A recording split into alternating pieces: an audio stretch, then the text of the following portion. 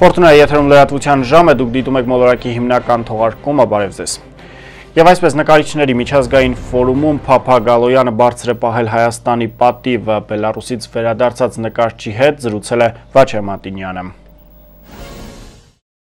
Վերջերս Բելարուսի Մագիլյով քաղաքում կայացավ նկարիչների միջազգային համաժողով, որը նվիրված էր 19-րդ դարի նկարիչ Ֆյոդոր Տուլովի հիշատակին։ Համաժողովին մասնակցում էին Հայաստանի, Իսրայելի, Սերբիայի, Էստոնիայի, Չինաստանի, Ռուսաստանի եւ Բելարուսի մոտ երկու տասնյակ նկարիչ։ Հայաստանի եւ ամբողջ Կովկասը ներկայացնում էր Հայաստանի նկարիչների միության անդամ Վանաձորի կերպարվեստի թանգարանի տնօրեն Փափա Գալոյանը։ Ստեղծել էին նաեւ Տուլովի թանգարանը, թանգարանի բացումը կատարեցինք մենք այնտեղ Նկարիչները մի քանի օրվա ընթացքում ծանոթացել են Բելարուսի մշակույթին ու բնությանը, որից հետո նկարելով երեք կտավ պետք է նվիրեին թանգարանին։ Փափագալոյանը նշեց, որ օրերն այնքան հագեցած էին, որ մասնակից նկարիչները չէին հասցնում բոլոր միջոցառումներին ներկա գտնվել։ Նույնիսկ միջոցառումները մի քիչ ավելի շատ էին, որ խանգարում էին մեզ նկարելուն։ Մի քիչ եթե մենք այնտեղ նեղվում ենք, հենց այդ պատճառով որ շատ միջոցառումներ էին իրենք կազմակերպել։ Համաժողովը ամփոփվեց բոլոր երկրների նկարիչների ավելի քան 50 գործերի ցուցահանդեսով, որոնք նկարիչներ նկարել էին ներշնչվելով Բելարուսի բնությամբ ու մշակույթով։ Հայաստանի միակ ներկայացուցիչ Փափագալոյանը նկարել էր Բելարուսի երկու վայր, որոնք գտնվում են Գետերի ափին եւ մեկ նկար, որը ավելի շատ ստեղծագործական էր։ Ինձ համար սկզբնական հենց պահերից բավականին դժվար էր, ինչի համար, որովհետև մենք սովոր ենք, որ մեր բնությունը ամեն մի 10 մետրի վրա փոխվում է մեր բնությունը, մեր բնություն, մեր կերպարը, բնության կերպարը։ Բելարուսիայում կարծես կիլոմետրերով ճանապարհ ենք անցնում եւ նույնն էր։ Բնաշխարը նույնն էր։ Նույն ծառերը, նույն թփերը, նույն գետերը կարծես բավականին այդ առումով դժվար էր։ Հետո երկրորդ, երրորդ, չորրորդ օրը քիչ-քիչ սկսեցինք սովորել եւ բնականաբար կատարեցինք Փափագալոյանը կարևորեց նմանատիպ ֆորումների անցկացումը, ըստ նրա դրանք լավ հնարավորություն են մյուս երկրների նկարիչներին ներկայացնելու մեր ազգային մշակույթն ու նկարչային արվեստը։ Շատ կարևոր է, երբ որ մի մասնագիտության մարդիկ եւ տարբեր երկրներից պատկերացնում եք, ասենք, Եվրոպայի տարբեր երկրներից, Չինաստանից,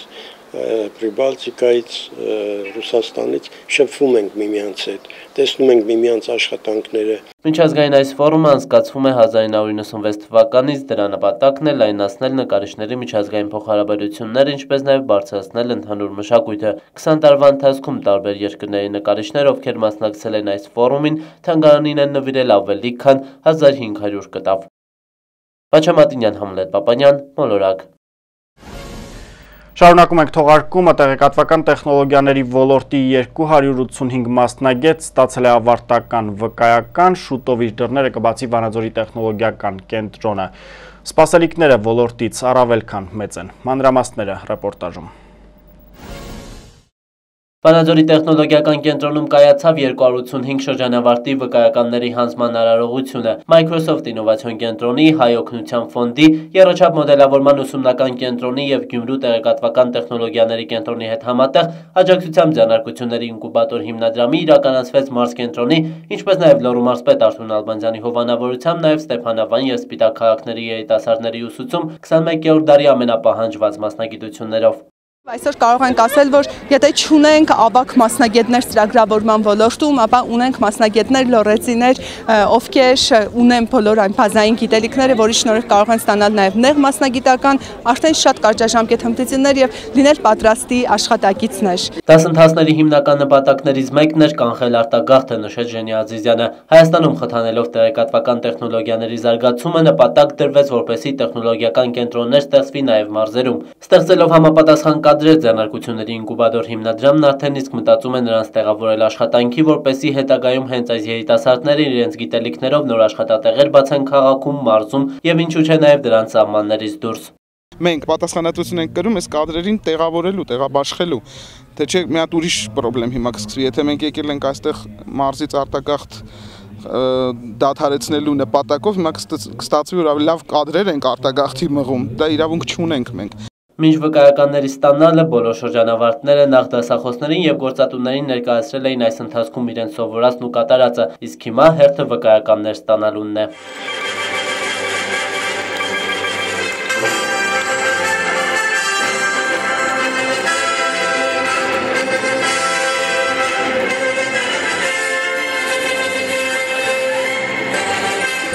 այն ինչ որ ուզում ենք ստացանք ու կարողացանք օգտագործել ու շարունակելու ենք օգտագործել։ Վերջապես գտա այն ինչ ինձ հոգեհարազատ է,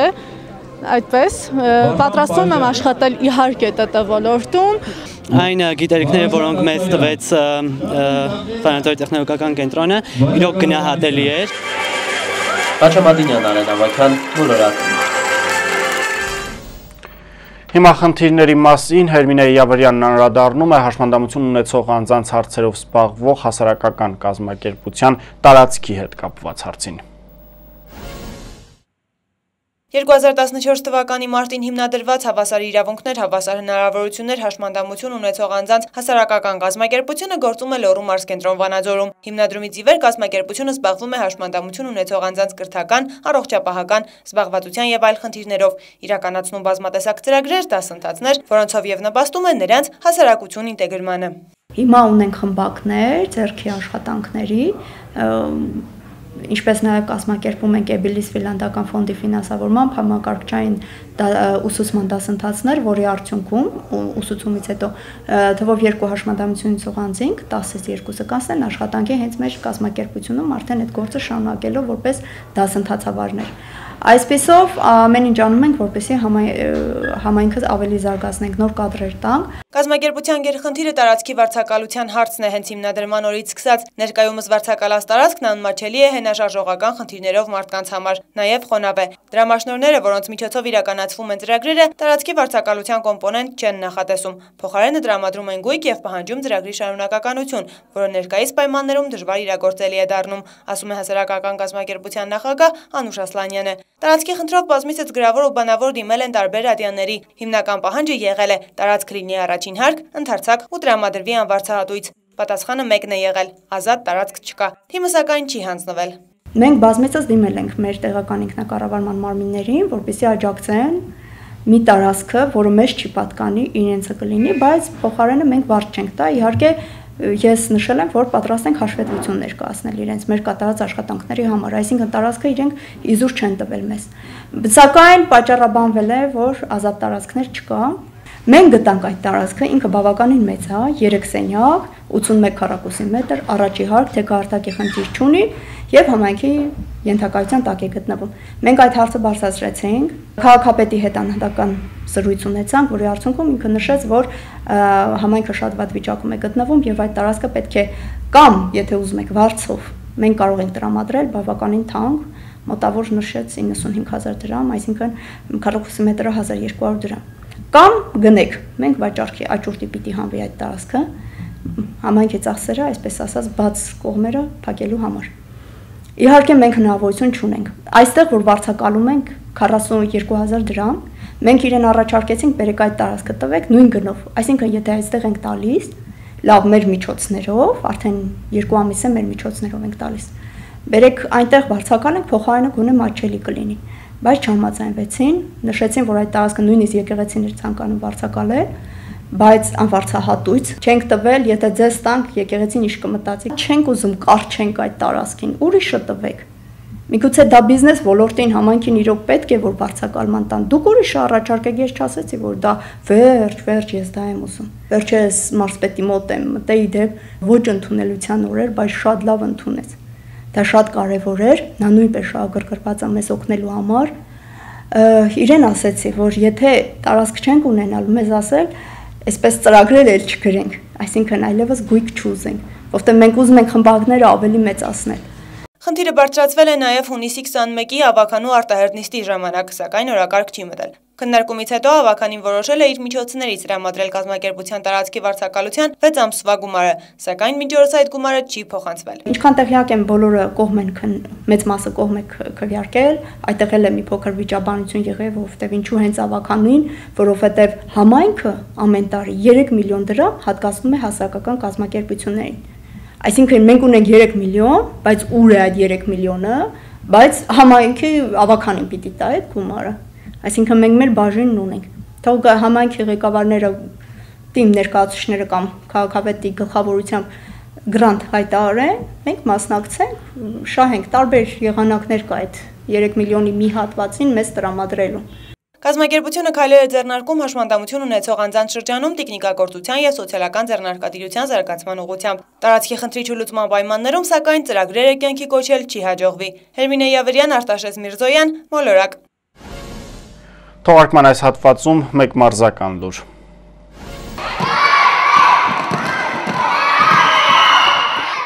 Հայաստանի Հանրապետության վաստակավոր մարզից Սարգիս Ավետիսյանի անունը գրող Վանաձորի Օլիմպիական մանկապատանեկան մարզադպրոցում անցկացվեց վերջինիս հիշատակին նվիրված ըմշամարտի առաջնություն, որն անց էր կացվում դեռահասների շրջանում։ Առաջնությանը մասնակցում էր մարզադպրոցի 120 սան։ Վերջիններս մրցում էին 20-ից 54 կիլոգրամ քաշայինների միջակայքում, շուրջ 11 քաշային կարգերում։ Սարգիս Ավետյանին բոլորներ գիտեն, ինքը մեր ըմբշամարտի հիմնադիրներից մեկն է եղել իմ մարզիչն է եղել եւ իմ վրա շատ ինքը աշխատանք ունի արած